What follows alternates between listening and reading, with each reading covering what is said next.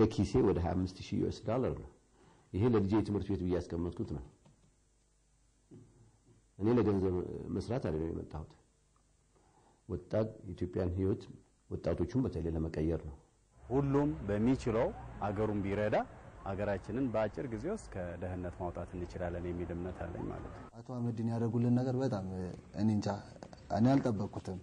because ወደ እንኳን እንደዚህ አምስት መቶ የተለያዩ በዚህ level ያሉ መጽሐፎችን ቀርቶ እንዲሁ የ reference መጽሐፎችን ማግኘት በአሁኑ ሰዓት በጣም እየከበደን ያለው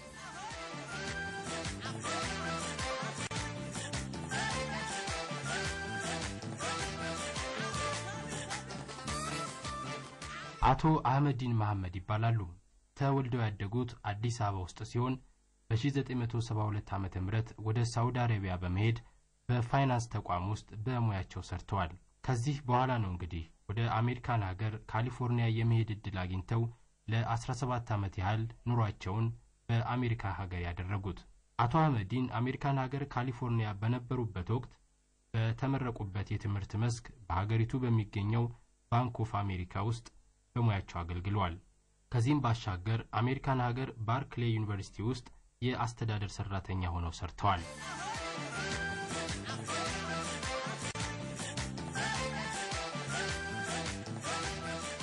አቶ አህመዲን ከዚህ ሁሉ ውጣ ውረድ በኋላ ነበር ለሀገራቸው አንድ ነገር ማበርከት እንዳለባቸው የተገነዘቡት። አሜሪካን ሀገር በስጦታ የሚያገኙትን መጽሐፍት በመሰብሰብ ወደ ሀገራቸው ኢትዮጵያ በመላክ ለአንባቢያን ማድረስም ጀመሩ። በተለይም ደግሞ በመንግስት ትኩረት የተሰጣቸውና በአቅም ማነስ ተደራሽ ያልሆኑ ትምህርት ቤቶችንና ለወጣት ማዕከላት ቤተ መጻሕፍት የመክፈት ትልቅ ራዕይ ሰንቀው መጓዝ ጀመሩ። ይዘውት የተነሱት ዓላማ ወገንና ሀገርን መርዳት ስለነበር ዓላማው ተሳክቶላቸው ከ30 ሺህ በላይ መጻሕፍትን ወደ ሀገር ቤት በማስገባት ከ14 ሺህ በላይ መጻሕፍትን ለትምህርት ቤቶችና ለወጣት ማዕከላት ማበርከት ችለዋል። በውጤቱም ደስተኛ ናቸው።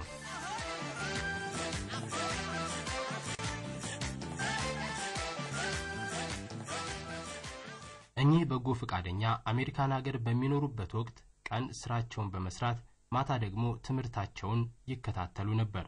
በዚህ አጋጣሚ ነበር መጽሐፍትን መሰብሰብ የጀመሩት። ለመሆኑ ለዚህ በጎ ተግባር ምን እንዳነሳሳቸው ጠይቀናቸዋል። graduate ልናደርግ አንድ ሶስት ወር ሲቀረን መጽሐፎች ትገዛለህ። መጽሐፉን ትገዛና የሚቀጥለውን ኮርስ ለመውሰድ ስትፈልግ በፊት የገዛኸውን ትሸጠውና መጽሐፍ ትገዛበታለህ።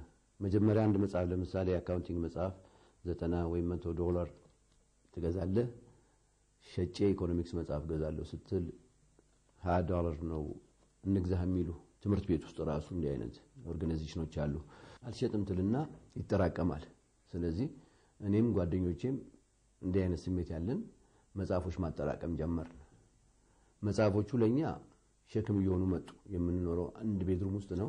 በዛ መሰረት ይህም መጽሐፍ ለምን አዲስ አበባ አልልከውም አልኩና በ1993 በፈረንጅ አቆጣጠር መጽሐፉን ለመሰብሰብ ሀሳቤን ለጓደኞች ያካፈልኳቸው። ጥሩ ሀሳብ ነው ተባለ። መጽሐፎች ተሰበሰቡ። ከሰዎች ስንጠይቅ የመጽሐፉ ብዛት የሚያስደነግጥ አይነት ሆነ። አቶ አህመዲን አሜሪካን ሀገር ካሊፎርኒያ ውስጥ ሳን ፍራንሲስኮ ከተማ በሚኖሩበት ወቅት መጽሐፍትን የመሰብሰቡን ሥራ ጀምረውት በሂደት ላይ ያሉ አንድ ችግር ገጥሟቸው ነበር። የሰበሰቧቸውን መጽሐፍት ወደ ሀገር ቤት የሚልኩበት የትራንስፖርት ገንዘብ ያስፈልጋቸው ነበር። ይህን ችግር እንዴት ተወጡት? አሁን ትልቁ ወገቤን የሚያሰኘው የነበረው ሎጂስቲክስ የመላኪያው ችግር እንዴት እንወጣ ተባለ። ስለዚህ ወደ 35 40 ሺህ መጽሐፍ እንደተሰበሰበ መቀበል አቆምን። ምክንያቱም ጎርፍ እየሆነ መጣ። በቃ ብዛቱን አልቻልነውም። መላኪያ ስለሌለ መጽሐፉ መሰብሰቡ ዋጋ ስለሌለው ተው ነውና በስታንፈርድ ዩኒቨርሲቲ የሚባል ዩኒቨርሲቲ አለ። በዛ ዩኒቨርሲቲ አማካኝነት የዛን ጊዜ የማውቀው ሰው ስለነበረ ዩኒቨርሲቲውን ጠይቆ እንደምንም ብላችሁ አምስት ሺህ አዳዲስ እትም የሆኑትን መጽሐፎች ብቻ ላኩ ተባለ። አምስት ሺህ መጽሐፍቶችን ሰብስበን በጊዜው ለአዲስ አበባ ዩኒቨርሲቲና ለሴንት ሜሪ ላክንላቸው። መጽሐፉ መግዣ ያገኘን ወደ 15 ሺህ ዶላር።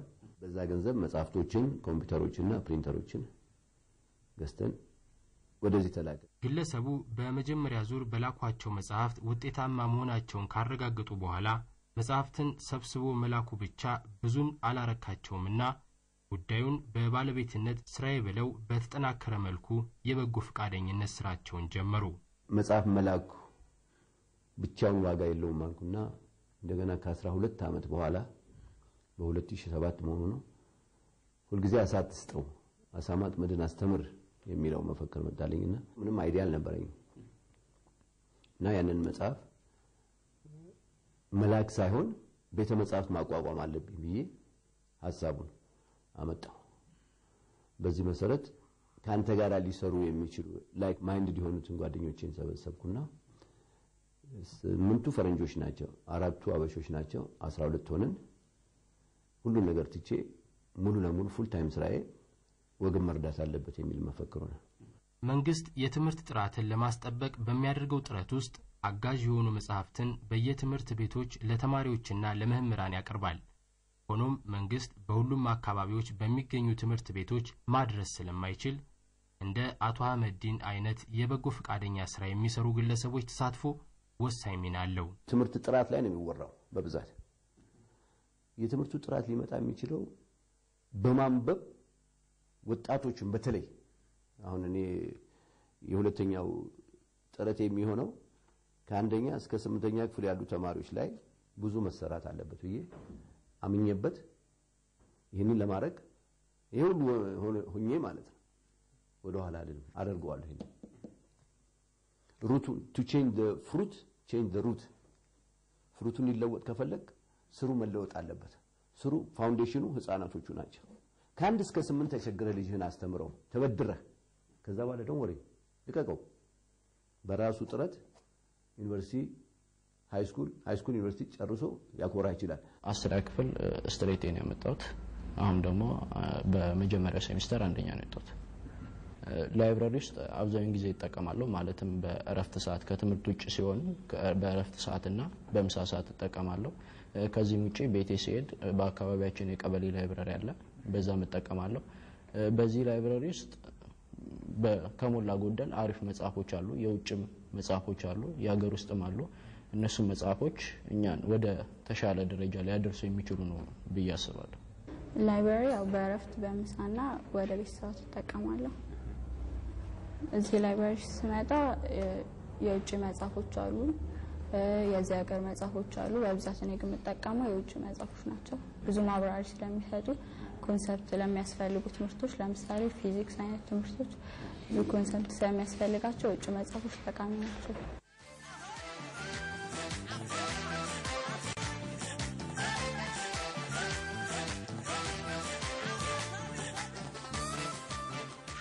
ተማሪዎች እውቀታቸውን ለማስፋት በሚጥሩበት ጊዜ በትምህርት ቤቶች ውስጥ በሚገኙ ቤተ መጻሕፍቶች ውስጥ የሚፈልጉትን መጽሐፍ ሁሉ ለማግኘት የሚቸገሩበት አጋጣሚ አለ። ይህ በሚሆንበት ወቅት ደግሞ ገዝቶ ለመጠቀምም አቅም የሌላቸው ተማሪዎች ይኖራሉ። አቶ አህመዲን ይህን ችግር በመጠኑም ቢሆን ለመቀነስ በአንዳንድ ትምህርት ቤቶች ውስጥ ባደረጉት የመጽሐፍት አቅርቦት ስኬታማ ሆነዋል። ለአብነት ያህልም በአዲስ አበባ የሚገኘው ከፍተኛ 23 ትምህርት ቤት አንዱ ማሳያ ሊሆን ይችላል።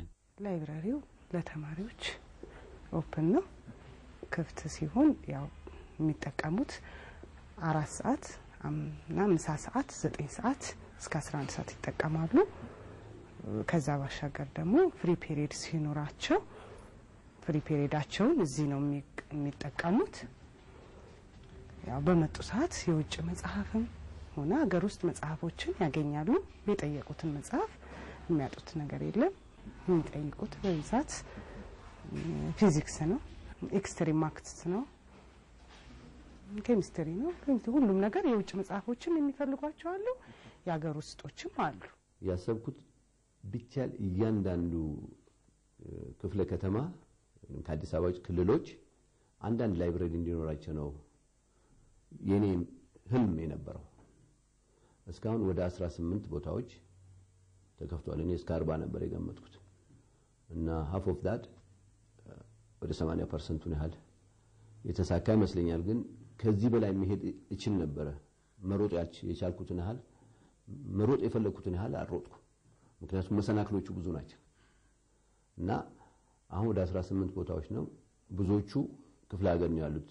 ትምህርት ቤቶች የተጠናከረ የመማር ማስተማር ሂደትን የሚከተሉ ከሆኑና የተሟላ የቤተ መጻሕፍት አገልግሎት የሚሰጡ ከሆነ በተማሪዎቹ ውጤት ላይ አዎንታዊ ለውጥ እንደሚመጣ አንዳንድ በከፍተኛ 23 ትምህርት ቤት ግቢ ውስጥ ያነጋገርናቸው መምህራን ገልጸውልናል። የተበረከቱላቸው መጽሐፍቶችም ለተማሪዎቻቸው አጋዦች እንደሆኑም ይናገራሉ። መጽሐፍቶቹ ከተማሪዎቹ ባሻገር እኛን መምህራንን ስለሚያግዙን ከአቶ አህመዲን ጋር ግንኙነት ፈጠርን። ለተወሰነ ጊዜ ያው እንትን ስንል ነበር፣ deal ስናደርግ ነበረ። በመጨረሻ ላይ የትምህርት ቤቱን ሁኔታ ካዩ ከተረዱ በኋላ መጽሐፍ እንደሚሰጡን ቃል ገቡልን። የሰጡን መጽሐፎች ሁሉም የውጭ መጽሐፍ ናቸው እና አምስት መቶ አምስት መቶ ምናምን መጽሐፎች ናቸው። መጽሐፎቹ ዋጋቸው እንደዚህ ብለን ምንገምታቸው መጽሐፎች አይደሉም። የኬሚስትሪ መጽሐፍ አለ፣ የባዮሎጂ፣ የጂኦግራፊ፣ history፣ law ም ራሱ ያካተተ መጽሐፎች ናቸው የሰጡንና ይሄንን ስላደረጉልን እኛ በእኔ በኩል ማለት ነው ከፍተኛ ምስጋና ይገባቸዋል እላለሁ። መጽሐፍ ፈልገው አፈላልገው አምጥቶ የሚያድል ኢትዮጵያዊ ትልቅ ሰው ነው በእኔ መስፈርት ማለት ምክንያቱም እነዚህ አሁን እሳቸው የሰጡን መጽሐፍ ቀላል ግምት አይደለም። አምስት መቶ መጽሐፍ እንዲያው በአስር ብር እንኳ በአስር ብር እንኳ ቢሆን አምስት ሺህ ብር በላይ ነው። ግን በአስር ብር የምትገዛው መጽሐፍ የለም በአሁኑ ጊዜ ሶፍት ራሱ አስር ብር ነው። ሌላም promise ገብተውልናል አቶ አህመዲን ከመጽሐፍት ባሻገር ኮምፒውተሮችና ፕሪንተሮች ለዚህ ትምህርት ቤት እንደሚሰጡ በቃል ነግረውናል። ማንበብ የእውቀት አድማስን እንደሚያሰፋ የተገነዘቡት አቶ አህመዲን በአዲስ አበባ ውስጥ ብቻ ተወስነው አልቀሩም። ይልቁንም በክልል ከተሞች በሚገኙ ትምህርት ቤቶችና ቤተ መጻሕፍቶች ውስጥ መጽሐፍትን ማድረስ ችለዋል። ከሱሉልታ ደብረ ዘይት ሁለት ቦታ፣ ጎጃም ደጀን ላይ፣ ወሎ ወልዲያ ላይ፣ እዚህ ደቡብ ጉራጌ ወልቂጤ ላይ እነዚህ ቦታዎች ኢትዮጵያውያንና ትውልደ ኢትዮጵያውያን በሚኖሩበት ሀገር ያገኙትን እውቀትና የቴክኖሎጂ ሽግግር ወደ ሀገራቸው ኢትዮጵያ ማምጣት ቢችሉ ሀገራቸውንና ወገናቸውን በመርዳት ኢትዮጵያን ወደ ላቀ ደረጃ ማድረስ እንደሚቻል መረዳት ይቻላል። ሁሌም ሀገራቸውን ሲያስቡ የነበሩበትን ማህበረሰብ ማሰብ ጠቃሚ ነው የሚሉት አቶ አህመዲን ትርፍን ሳይሆን ለወገን ደራሽነትን ማስቀደም የሚሰጠው ደስታና የህሊና እርካታ ከምንም በላይ ነው ይላሉ። financial ግን የለውም። ገንዘብ እኔ ያወጣሁ እንጂ ወደ ኪስ የሚገባ ነገር የለም። ያ አያሳዝነኝም ንግድ የለም። አስቤበት አድርጌ ነው አድርጌ ያለው ቁጭት የለኝም። የጃን ሜዳ ሞዴል የወጣቶች ማዕከል በአዲስ አበባ ህጻናትና ወጣቶች ቢሮ ስር የሚተዳደርና ወጣቶች በብዛት የሚያዘወትሩት የመዝናኛ ስፍራ ነው። ማዕከሉ ከዚህ በፊት በቤተ መጻሕፍት ደረጃ የተቋቋመ ቢሆንም ሁሉንም የቤተ መጻሕፍት ተገልጋይ ጥያቄ ያሟላ እንዳልነበር ተጠቃሚዎች ያስታውሳሉ። ምክንያቱም ከዚህ በፊት ቤተ መጻሕፍት ወደ አራት ዓመት ምናምን ይሆናል እኔም በብዛት ያሉት በ elementary እና በ high school ደረጃ ያሉ መጽሐፎች ነበሩ። አልፋ ምናምን reference የሚያደርጉ ትናንሽ መጽሐፎች ነበሩ። ይህ ደግሞ more ወጣቱን ኮሌጅ ላይ እና ዩኒቨርሲቲ ላይ ያሉትን ወጣቶች አያሳትፍም ነበረ። አሁን ግን እሳቸው ያመጧቸው መጽሐፎች በጣም እንትን ያሉ ናቸው። በትላልቅ ጸሐፊዎች የተጻፉ መጽሐፎች ናቸው። አገራችን ላይ በቀላሉ ዋጋ ማናገኛቸው እና ብዙ ቤተ መጻሕፍት ውስጥ የማይገኙ መጽሐፎች ናቸው። ያ ከመሆናቸው አንጻር የተለያዩ በዩኒቨርሲቲ ደረጃና በኮሌጅ ደረጃ ያሉ ወጣቶችን ወደ ወጣት ማዕከሉ እንዲመጡ እንዲጠቀሙና ክህሎታቸውን ያላቸውን እውቀት እንዲያሳድጉ ይረዳቸዋል የሚል እምነት አለኝ። አቶ አህመዲን ያው ከአሜሪካ ሀገር እነዚህን መጽሐፍቶች አሰባስበው ወደ ኢትዮጵያ እንዲመጡ ኢትዮጵያም ከመጡ በኋላ ደግሞ ለዚህ ለእኛ ድርጅት ከኛ ጋር ባላቸው መልካም ግንኙነት እንዲሰጥ ያበረከቱት እሳቸው ናቸው። እሳቸው ያው የማንበብን ልምድ በኢትዮጵያ ለማስፋፋት የተለያዩ ስራዎችን እየሰሩ የሚገኙ ሰው ናቸው። ስለዚህ ያንን ደግሞ ከኛ ጋር ተገናኝተን ተወያይተን ለእኛ አበርክተውልናል። እኛ ደግሞ መጽሐፍቱን ለጃን ሜዳ ወጣቶች ማዕከል አበርክተናል። የሚያነብ ሰው ውስጡ ሙሉ ነው። የማያነብ ሰው ደግሞ የተጠናከረ ሀሳብና ትችት መሰንዘር እንደሚቸግረው የሚናገሩት አቶ አህመዲን ሁሉም በተሰማራበት መስክ ተቀናጅቶ መስራት ከቻለ በሀገር ላይ ትልቅ ለውጥ ማምጣት እንችላለንም ይላሉ። እኔ social entrepreneur ነኝ። ገንዘብ ለመስራት አይደል፣ እኔ ሰው ህይወት ለመቀየር ነው። ነርሷን መጥታ በሽተኛ ለማከም ነው። ዶክተሩን መጥቶ psychologist የሚሆን ሊረዳ ነው የመጣው። ገንዘብ ሊሰራ አይደለም፣ ገንዘቡ ሊሰጥ ነው የመጣው። እውቀቱ ሊያካፍል ነው የመጣው። ሌሎች ደግሞ አሉ። ሁሉም ሰው አንድ አይነት ስሜት አይኖረው። ሌላው ደግሞ ፋብሪካ ላይ አቋቁም ይመጣል። ነገሮች ፋሲሊቴት ካልሆኑለት ገንዘቡን ይዞ ይሄዳለሁ እኔ ምን አስጨነቀኝ ኬንያ ይሄዳል፣ ኡጋንዳ ይሄዳል። ለምን ኢትዮጵያን የመሰለ ገነት ይበልጥ ገነት አናረጋትም?